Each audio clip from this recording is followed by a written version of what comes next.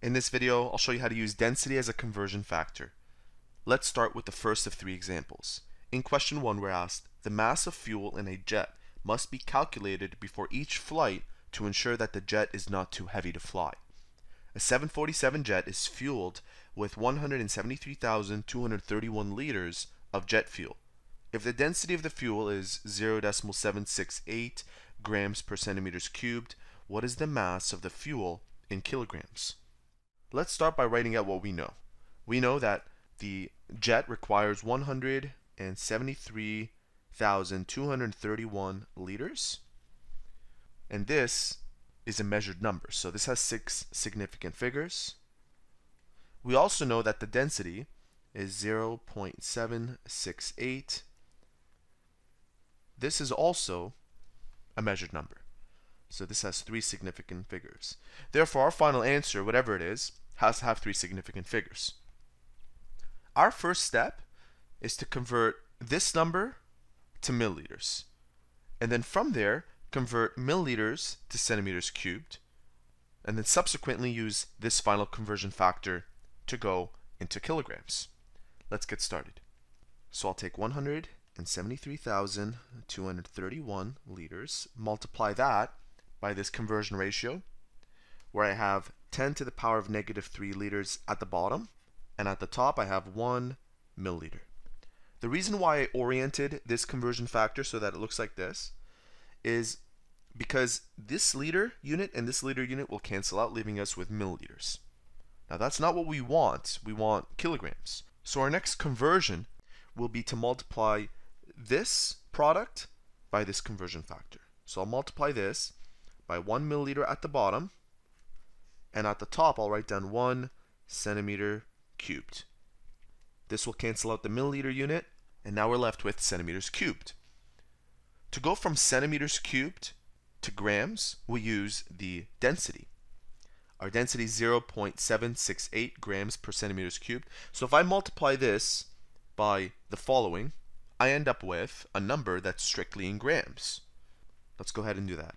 So we multiply this product by 0.768 grams per centimeters cubed. So this centimeters cubed and this centimeters cubed will cancel out.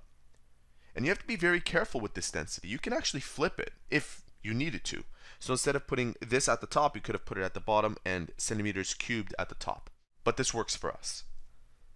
So now we have an answer that is in grams.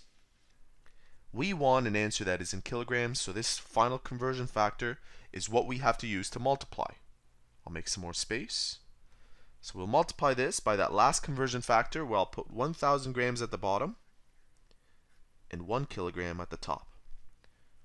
This gram unit and this gram unit will cancel out, leaving us with the highlighted unit. Now we have to perform the calculation using our calculator. Let's start with the numerator. So I'm going to multiply all the numerators together. This number, this number, this number, this number, and this number.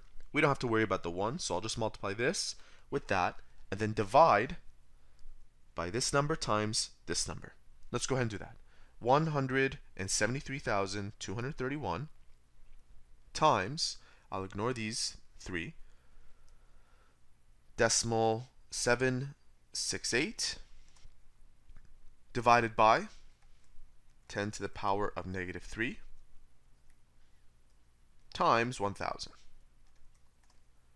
This gives me 133,041 kilograms. I'll take into account significant figures after I write this number down. Like I said at the beginning, we want three significant figures. So anything written after this 3 is insignificant.